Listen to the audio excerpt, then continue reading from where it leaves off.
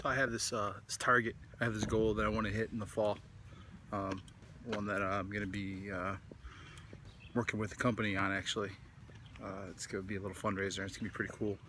Um, but it's a big one. It's something I've never done before.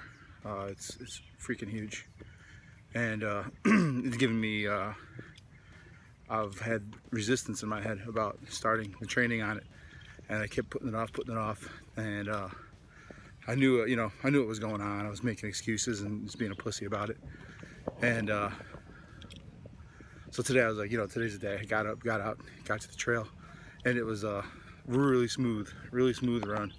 And I was like, look at you, you stupid ass. Like, all that apprehension and, and self-doubt about, you know, my current condition, which is not great. I was like, I can't, I can't run, I can't, oh my God, it's gonna hurt, it's going to be so hard, and all that. And uh, it, I got out and it was fine, like it was good.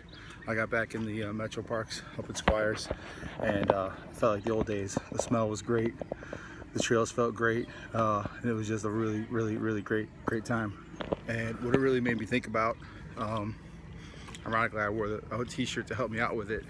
Uh, you know, we have targets, we have goals, we have things we want to do, um, and we often, obviously talking about myself, I just said it, place uh, imaginary hurdles in front of us as resistance to not start executing the plan to achieve the thing down the road that we want to do. And if you're, if it's a good goal, it's something you can't currently do. it's something we do. We sit in a comfort zone of things we can do, and we like to just kind of keep playing in that pool of everything we can do.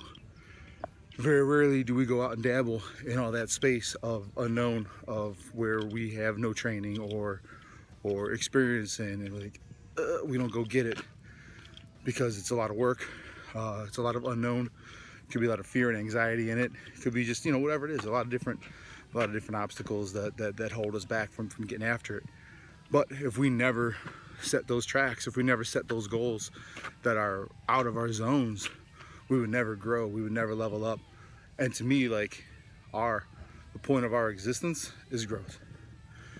I know we have a lot of other things going on uh, that are important to us. Yeah, and it, it, this has nothing to do with you know trying to set things in, in alignment, but personally, we have. Let me pause on that. You know, we talk about like oh yeah, raising kids is important and, and, being great neighbors is important. We can erase all that all that stuff. That's not what I'm talking about. What I'm talking about is our own self, because that is all we have.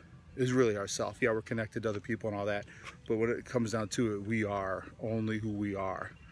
And if we don't recognize our primary goal, objective in this existence, is to grow, improve, learn, level up, become better change our change our programming and our track to to, to filter out negative energy and, and, chatter in our brains to, to get in better shape, to, to get our brains firing on a higher level, to be more emotionally stable, to be more cognizant of our atmosphere, like all those different like categories almost of ways we can improve our own inner self to just be on a track of, of constant improvement. That is what it's all about. To me, that's what it's all about.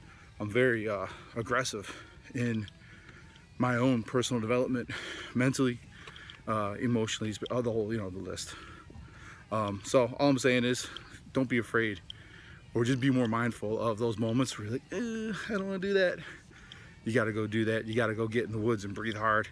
You got to go. Uh, you got to go sign up for the class. You got to go on that job interview. You got to go say hi. You got to go. The thing that's scaring you, go do that thing. Like really that should be the thing you go do over the next five days. Make that some your Fight Club homework. There's your homework. Go do the thing. The thing that scares you, go do that thing right now. The thing that you're trying not to do, go do it. The thing you've been putting off, the thing you've been resisting, the thing you've been uh, bullshitting around, go do it right now. Right now.